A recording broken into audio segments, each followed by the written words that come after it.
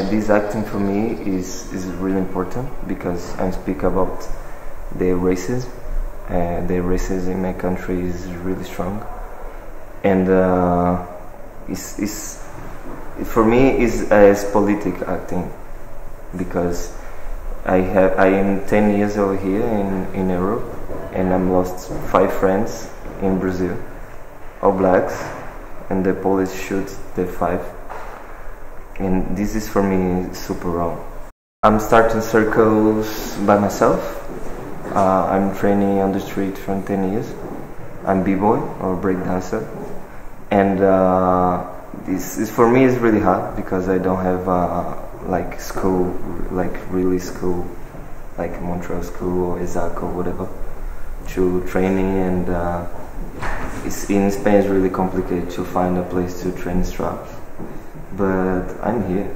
I'm training hard for I think five years now with straps.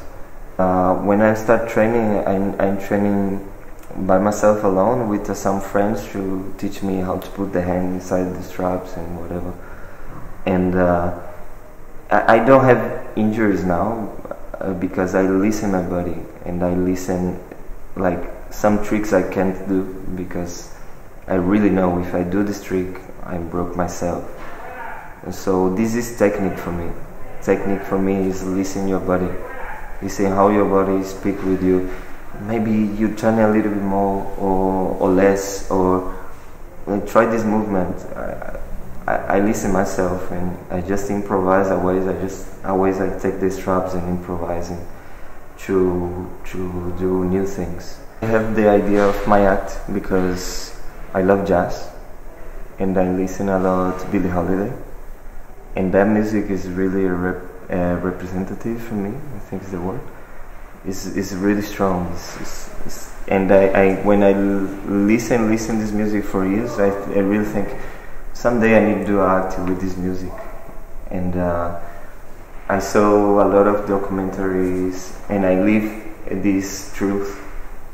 The music speak about my truth.